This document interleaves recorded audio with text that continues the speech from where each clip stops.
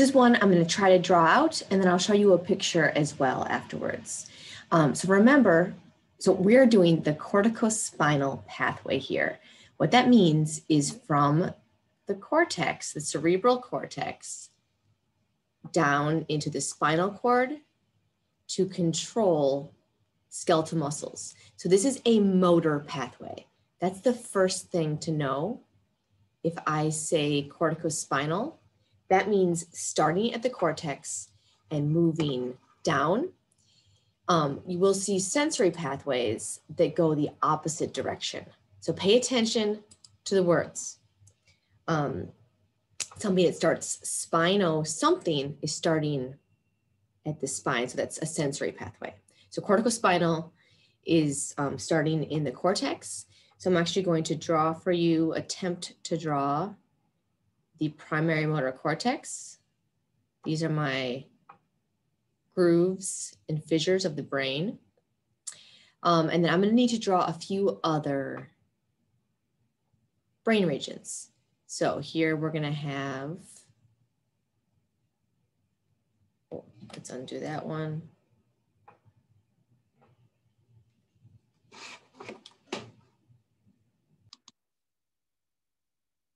Here's my attempt at the um, primary motor cortex up here.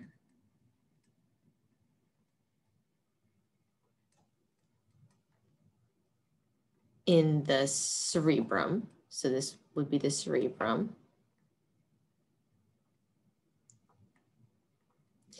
This is going to be our midbrain and then going down to the medulla, the medulla oblongata.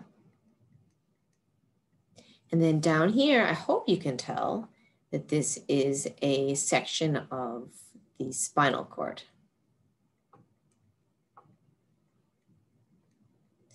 So we need to start a signal um, in the primary motor cortex. This is where we're going to have some neurons.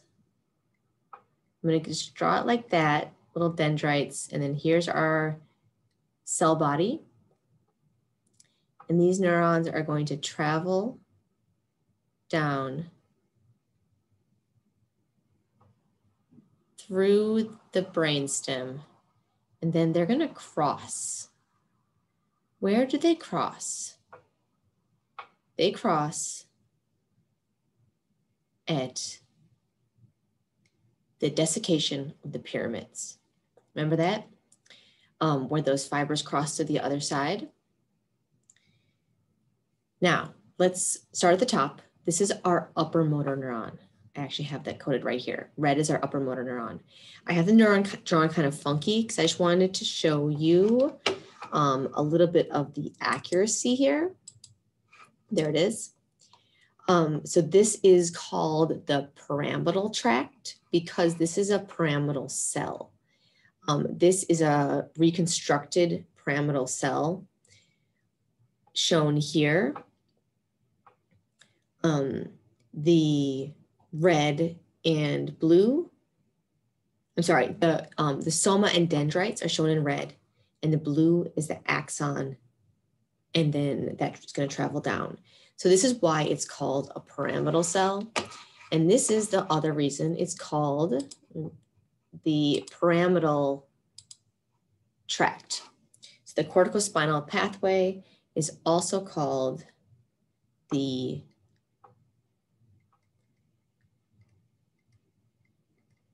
pyramidal pathway. That's actually also why these cells cross down in those pyramids, the pyramids of the medulla, and then decussate across to the other side, the decussation of the pyramids. So decussation, decussation means to cross. So I'm actually remind you here what that looks like. This is an image of the mid brainstem here, midbrain pons medulla. Here are those pyramids these are the axons of those pyramidal cells that come from the primary motor cortex. Isn't that cool? And then here they decussate, which means cross to the other side. Then what we're gonna do is have a lower motor neuron. I'm gonna draw this in white, although I may not be able to do that very well. So I will do light blue. That's going to be our lower motor neuron in blue here. So when this cell reaches the spinal cord, I didn't quite finish that yet, right? Where is it going to travel to? Which horn? It needs to ultimately get to the anterior horn of the spinal cord. Why? Well, that's where um, our somatic motor neurons are that ultimately are going to stimulate skeletal muscle contraction. So I could draw in my cell body of my somatic motor neuron that projects out to skeletal muscle. I'm going to add in text that tells you this is a skeletal muscle. And I'm going to add in the spinal nerve here, which would become the spinal, the anterior ramus. So here you go. This is the corticospinal pathway, also called the pyramidal pathway. Two more things to show you. One first is this picture here. If you remember, you saw this last week with spinal cord. The spinal cord itself has these ascending and descending tracks. Why might I be showing you this right now? Well, descending tracks, these are our motor tracks, right? Um, do you see one here that you maybe should know now? Anterior corticospinal tract and lateral corticospinal tract. This is just referring to where they are, right, in the spinal cord. Here's the lateral one. Here's the anterior one in the front. Um, I'm not going to have you identify where these are. That's where the information is traveling down before it synapses in the anterior horn. This is white matter tracks with myelinated axons. So to bring this all together with a diagram is better than the one I drew. Let's look at it here. Here's the same thing I tried to draw, um, but hey, maybe a little better. So we've got these pyramidal cells that are going to travel down into the brainstem and then become the pyramids that then decussate along here. That's where the left side of your body controls the right side. The left side of your brain controls the right side of your body, and vice versa. Um, because of that decussation.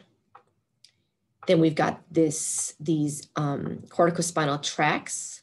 This, these are the white matter. These are the axons of the pyramidal cells that make up the lateral corticospinal tract and anterior corticospinal tract. Both places they go. Ultimately, this is just one example here. You have a single, um, you have a nerve fiber here, an axon, exit the corticospinal tract so that it can synapse with the lower, lower motor neuron, which is in the anterior gray horn. So upper motor neuron, lower motor neuron, this somatic motor neuron of the spinal cord, depending on what region of the spinal cord it's in, is going to control skeletal muscles in whatever body part that is, right? So if this is a cervical um, segment of the spinal cord, this might be skeletal muscles in the arm. If we are down in the lumbar spinal cord, these might be muscles in the leg this is going to, these neurons are going to exit the tracks at different locations, different segments of the spinal cord in order to control those muscles in order to really control all of your muscles somewhere.